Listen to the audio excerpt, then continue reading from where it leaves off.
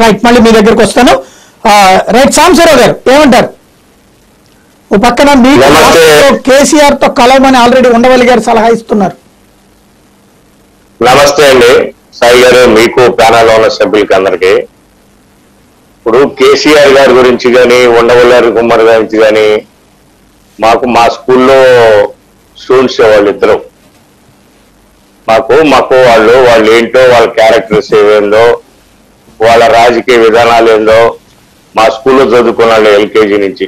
అందుకని వాళ్ళ గురించి పెద్దగా మేము థింకింగ్ చేయాల్సిన పనిలే కేసీఆర్ ఈ దేశాన్ని పరిపాలిస్తున్న కేసీఆర్ ఈ దేశంలో రాజకీయ పార్టీ పెడుతున్న కేసీఆర్ మాకు రాయలసీమ ఎత్తి పథకం పథకంలో రెండు వందల తొంభై టీఎంసీలు ఉంటే నలభై ఐదు టీఎంసీల నుంచి మేము ఒక వంద టీఎంసీలు పెంచుకుంటే కేఆర్ఎండిలో దావా వేసి మా పథకాన్ని ముందుకు తీసుకెళ్ళాం మేము ఆయన ఎక్కలేము ఆయన మా- మేము తెలంగాణ వాటర్ అడగట్లేదు కదా.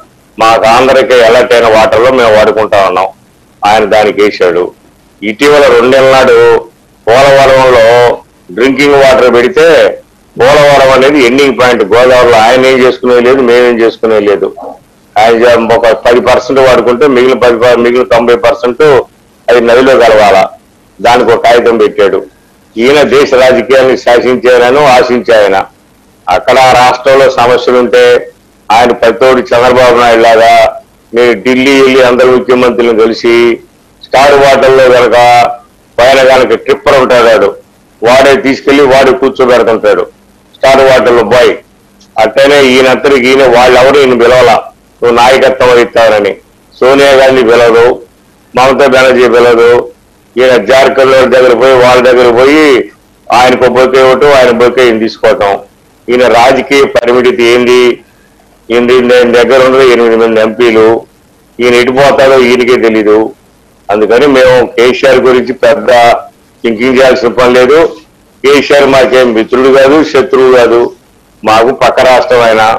ఆయన మేము ఇప్పుడు గోదావరి నదిలో కృష్ణా నదిలో ఒక పది దావాలు వేసుకున్నాం. ఇక రెండోది ఉండవల్లి అరుణ్ కుమార్ గారు. ఆయన ఆయన కూర్చొని మీటింగ్లు పెట్టుకొని ఆయన టైం పాస్ చేసుకుంటాడు. ఇప్పుడు చాలా పల్లెటూళ్ళలో క్యాలం బోర్డు ఆడుకుంటుంటారు చెస్ ఆడుకుంటుంటారు పేకాట ఆడుకుంటారు. ఎందుకంటే అట్టనే ఈయన కూడా పాపం ఆయన ప్రెస్ మీటింగ్లు పెట్టుకొని ఒకసారి జనసేన పొగుడతాడు ఒకసారి చంద్రబాబు నాయుడు పొగుడతాడు ఒకసారి ప- జగన్మోహన్ రెడ్డిని పొగుడతాడు అటువంటి వాళ్ళ గురించి ఈ వీళ్ళంతా క్యారం బోర్డు పొలిటీషియన్స్ గురించి మేమేమి కృషి చేయాల్సిన పనిలా ఆయన బీజేపీ వ్యతిరేకం అన్నాడు. ఇవాళ కేసీఆర్కి ఆంధ్రాలో ఒకప్పుడు సా- పెద్ద ఉమ్మడి రాష్ట్రానికి యోధుల్లాగా లగడపాటి రాజగోపాల్ ఉండవల్లి కుమార్ అన్నాడు. ఇద్దరు కలిసి వాళ్ళు పిలుచుకుంటారు రేపు లగడపాటి రాజగోపాల్ కూడా పోతున్నాడు కేసీఆర్ దగ్గరికి. సాయి గారు లగడపాటి రాజగోపాల్ దగ్గర వాళ్ళు పోతాడు పిలుస్తాడు. పిలిస్తే వాళ్ళ తెలంగాణ రాష్ట్ర ముఖ్యమంత్రి పిలుస్తాడు కాబట్టి భోజనానికి వెళ్తారు.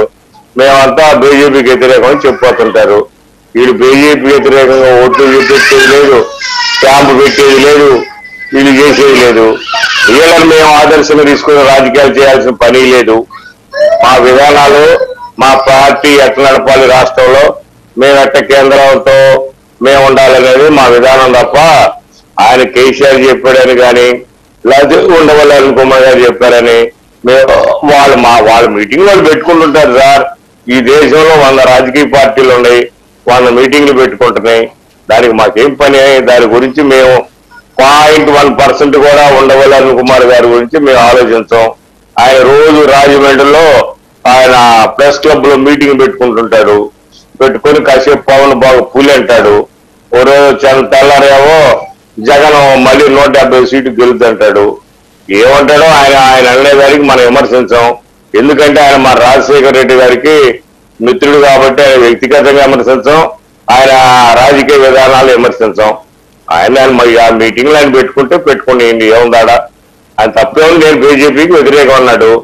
కేసీఆర్ ఇవాళ బీజేపీకి వ్యతిరేకం కాబట్టి ఆయన పిలిపించుకున్నాడు మాట్లాడాడు. బయటకు వచ్చి ఏం చెప్పాడు? నన్ను బీజేపీకి వ్యతిరేకం ఉండమన్నాడు నువ్వు ఉండేది ఏంది? ఆయనే ఉంటున్నాడు. నీలాంటి ఒక మేధావులంతా ఇండియాలో ఒక నూట యాభై మంది మేధావులతో మీటింగ్ పెడతాడు బీజేపీకి వ్యతిరేకమైన శాశ్వత బీజేపీకి వ్యతిరేకమైన మిత్రులు కమ్యూనిస్టులు ఉన్నారు. వాళ్ళతో మీటింగ్ పెట్టాలా? నువ్వు ఒక రోజు ఓ రోజు లోనంటావు రోజు బయట ఉంటావు. ఈ దేశంలో కాంగ్రెస్ బీజేపీకి శాశ్వతమైన శత్రువులు ఎవరంటే కమ్యూనిస్ట్ పార్టీలు. వాళ్ళతో మీటింగ్ పెడితే వాళ్ళు నిలబడతారు. నువ్వే నిలబడతా నువ్వు ప్రెస్ మీట్ తర్వాత నువ్వు ఉండవు కదా. ఏదో వాళ్ళు పెట్టుకున్నారు సార్ ఈ రో ఏమంటే ఇండియన్ పాలిటిక్స్లో రోజుకు ఒక ప్రెస్ మీట్ పెడతారు సార్. జగన్ బాగుండాలని జగన్కి ముప్పై సీట్లని ఏదో పెట్టుకుంటారు. పెట్టుకునే దాన్ని అందరూ మేము ఖండించాల్సిన పని లేదు. మాకు ప్రజలు ఉన్నారు మా విధానాలు ఉన్నాయి. అయ్యే మేము చూసుకుంటాం తప్ప మేము ఢిల్లీ పోయి చక్రాలు తిప్పేవాళ్ళం కాదు. ఢిల్లీ పోయి మేము టైర్లు మార్చేవాళ్ళం కాదు. మా రాష్ట్రం గురించి మేము ఆలోచించుకునే వాళ్ళమే